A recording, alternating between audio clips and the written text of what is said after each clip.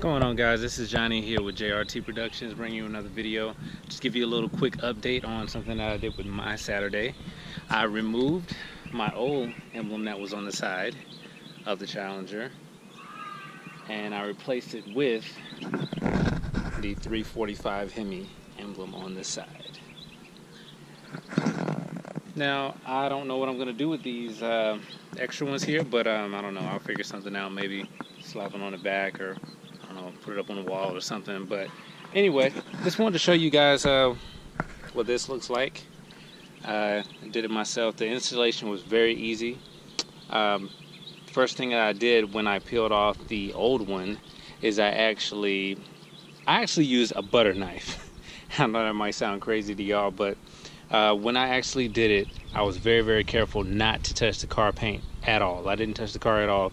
I was just slightly behind it and where you see this rubber on the back of it is where I actually started peeling. Actually I think it may have been on this side yeah.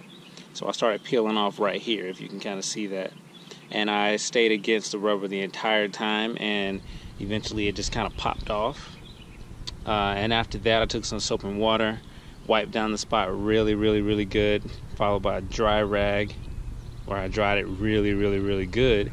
And from that point I just kind of eyeballed it as far as the exact location of where I wanted to put it. So that's how it came out.